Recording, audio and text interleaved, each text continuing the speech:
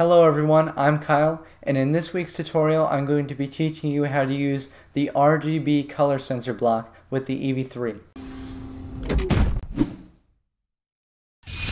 The RGB sensor block was invented by David Gilday when he made his MindCuber robot. This is the really cool robot that solves the Rubik's Cubes and it uses this special color sensor block to scan each of the sides of the Rubik's Cube in order to solve it. The reason why he used an RGB sensor block is it expands the possible number of colors that the EV3 color sensor can see.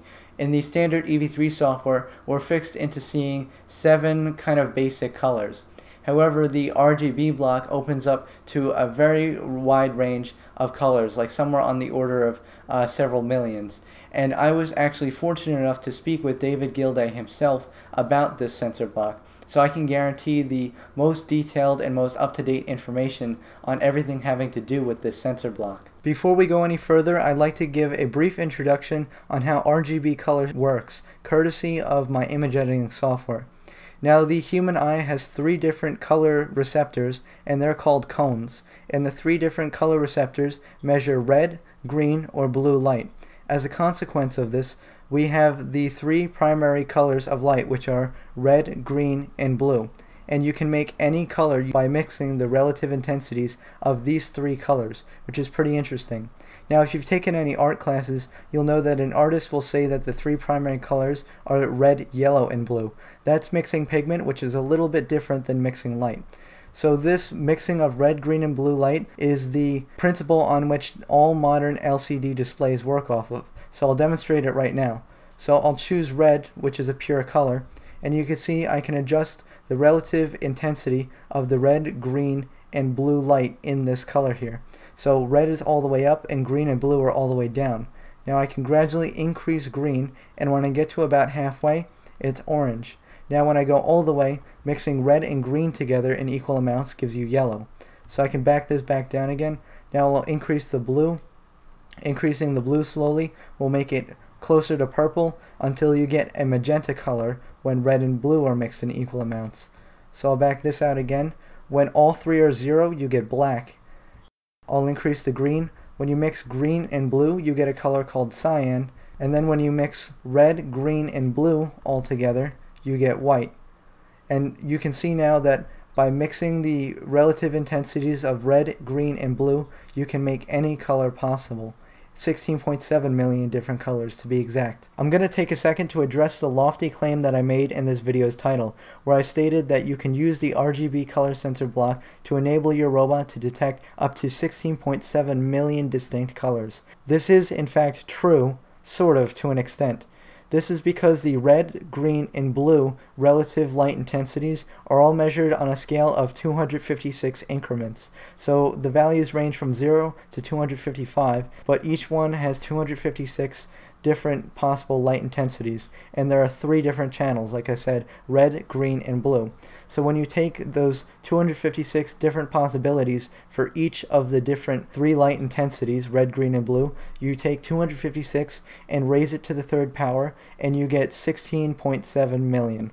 Now, in reality, you really can't detect 16.7 million different colors because you get to the point where they're so close that even a robotic eye can't distinguish the difference between all of those colors. And you also run into the problem where the colors are so close that difference in ambient light values will change how the colors are detected.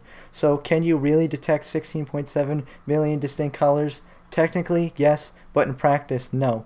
However, this greatly expands the EV3's color detecting capability over the normal 7 colors. In practice, your EV3 robot can probably reasonably detect about a thousand distinct colors using this RGB sensor block. Before we can program with the RGB sensor block, we need to download it from David Gilday's website. It's mindcuber.com. I'll put the link in the description box below.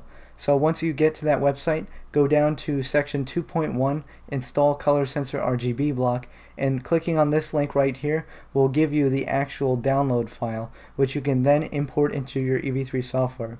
I already have a separate video which teaches you how to import third-party sensor blocks into the EV3 programming environment, so click up here if you'd like to see that video. After you have downloaded and installed the RGB sensor block, you'll find it in your EV3 programming software under the yellow Sensors tab. It's right here and it has the same icon as the regular color sensor block. So we'll take it out to check it out. It only has one mode, which is measure RGB color. In here we have numerical outputs for the relative red light intensity, the green light intensity, and the blue light intensity. That's all there is to it. And just like any other sensor, of course, you could choose ports 1 through 4. The light intensities range from a value of 0 to 255 because each light intensity value is assigned one byte value. Now we can use this block to make a simple program that reads the relative red, green, and blue light intensities and prints them to the EV3 display so we can see the RGB value for any color that we want to measure. The first thing we're going to do is take out a block that clears the EV3 display. If you want to learn more about programming EV3 displays, I covered that in a previous tutorial and I'll put the link to that up here in the top right corner. Anyway, moving on, we're going to take out an infinite loop and inside of that we're going to put our RGB sensor block. We're, I'm going to set mine to port 1 because that's the port that my sensor is plugged into. May vary for your sensor. After that we're going to take out three of these text blocks. So that's 1, that's 2, and that's 3.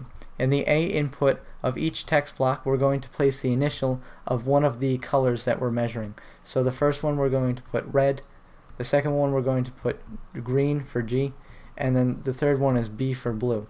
And this is just a label that's going to display alongside the actual RGB value and on when it's printed to the EV3 screen. We're going to take the the relative light intensity that corresponds to each initial. So we're going to take the red numerical output from the block and plug it into the text block with the R. Then we're going to take green and pair that with the G. Then we're going to take blue and pair that with the B. And finally, we're going to print all of this to an EV3 display. So we're going to take an EV3 display block and pair one with each text block. So we're going to set this to text grid and change this to wired. By the way, this is also covered in my EV3 display video that I mentioned before, so you can definitely check that out if you want to learn more about the specifics on how this works. So then we're going to take this result and plug it into the text input of this display block. So now it's going to print the R next to the actual relative light intensity of the red color in the RGB or whatever color sam sample we're measuring. And we're going to set this to false because we don't want the EV3 to clear the screen every time. We're going to take out yet another display block and this time pair it with the G for the green value.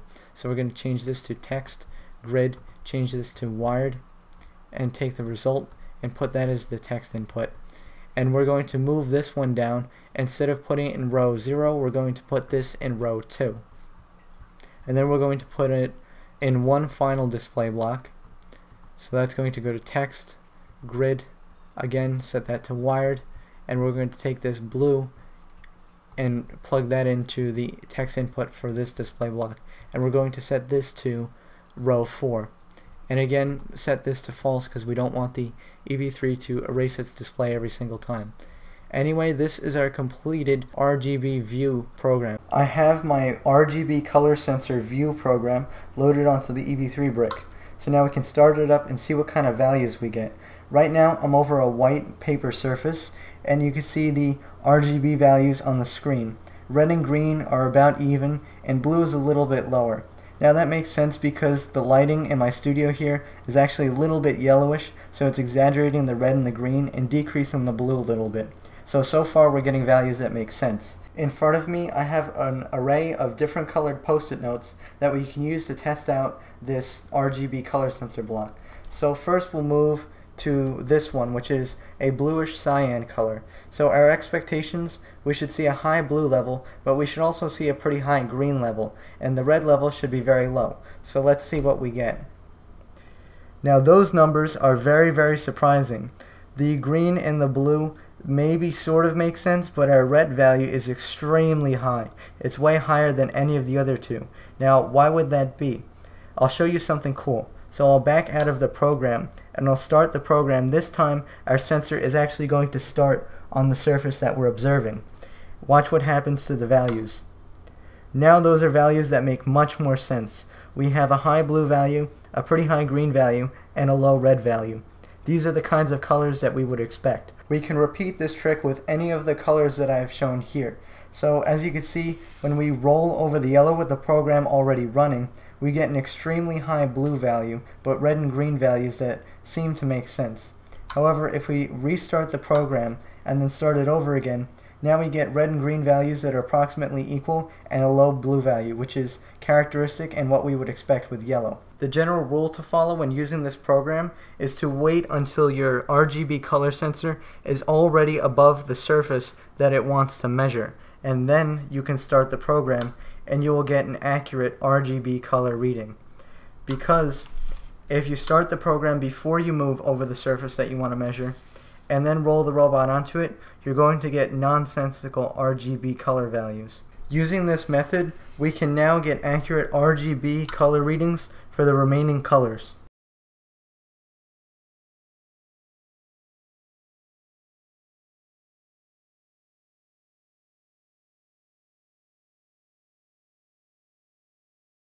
These are the RGB values that I measured when the robot's color sensor is placed over the orange post-it note. So let's use these RGB values to write a program that detects the orange. The first thing I'm going to do is take out an infinite loop and inside the infinite loop I'm going to drop in our RGB color sensor block and set it to the correct port. Now the next thing we're going to do is we're going to compare the RGB values that we read off of the sensor to those that we measured when the sensor was over the orange. However, we're not going to directly compare them with an equal sign. Instead, we want to give it a little bit of a range. The reason being because the light around the sensor, that is the ambient light intensity, can affect how the sensor reads the color that it's looking at. So we're going to use these range blocks in the red data operations section to give a little bit of wiggle room for the uh, detection. So we're going to need three of these range blocks, one for each of the relative intensities of the red, the green, and the blue. And they're all by default set to inside range, which is perfect. So we're going to first start with red and plug that in as the test value, uh, and we're going to compare. So the red value that we measured when we were looking at the orange, if we want to check that out again, was 185. So let's build a little bit of a range around that. We'll make the lower bound 180, and we'll say the upper bound will be 200. So that seems like a comfortable, reasonable range. Now what was the green value that we measured? That was 165. So we can plug in this green output as the test value for this, and then we'll make the lower bound 160, and we'll make the upper bound 180. And then finally, what was the blue value that we measured? That was 72. So we can take the blue output here, plug that in as the test value, and build a range around 72. So we'll say 60 as our minimum and 80 as our maximum. And now we need to just set up the proper logic operations so if this is true, this is true, and this is true, so if the red value is between this range, the green value is between this range, and the blue value is between this range, that means we have successfully detected the correct color orange, the specific shade of orange that we're looking for. So we just need to set up some logic. So we'll take out a logic operation here and put it in between there. We want this set to AND, which it is set to by default. Now this only has two conditions and we have three different uh, reflected light values that we need to compare. So we'll start by comparing the red and the green. So if both the red and the green are true, which means inside of that range, this will return a true value. Then we'll use a second logic, and we'll put this at the end here.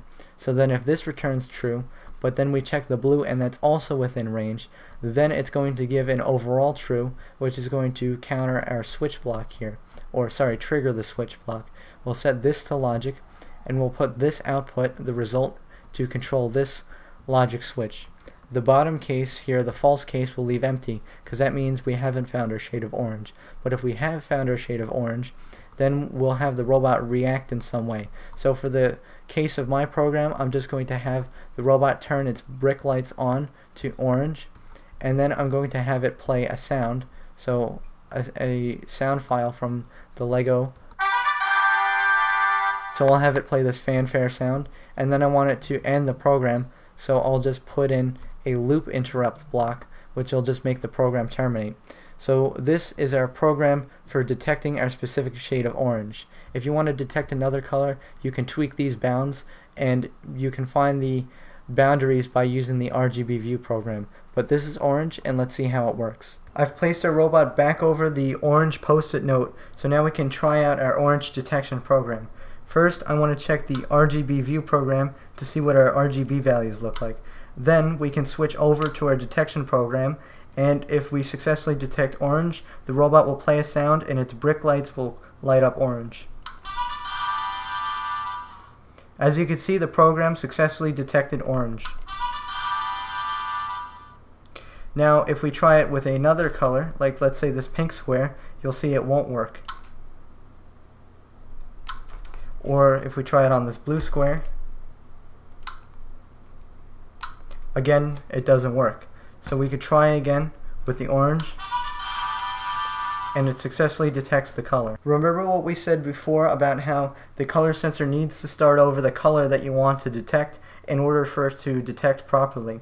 Well, for some unknown reason, this program actually works when you start it off of the color patch. So I'll demonstrate, I'll start the program and I'll roll the robot by hand onto the orange square.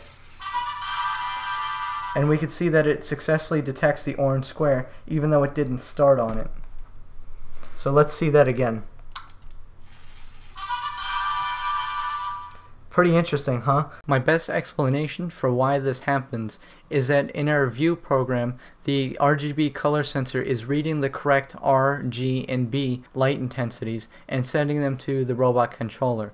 However, somewhere between the step where the robot controller receives these light intensities and they're printed to the display, something goes wrong, and whatever light intensity is supposed to be the lowest ends up getting exaggerated into a really large number. This is why when we move into the orange detection program, it ends up working, because now the correct RGB RGB values from the sensor are still getting to the robot controller, but we're bypassing that display step, which fools us into thinking the RGB values are incorrect, even though they still are, and the robot can still detect orange properly. A quick disclaimer, I don't know if this block is legal for use in FLL or WRO.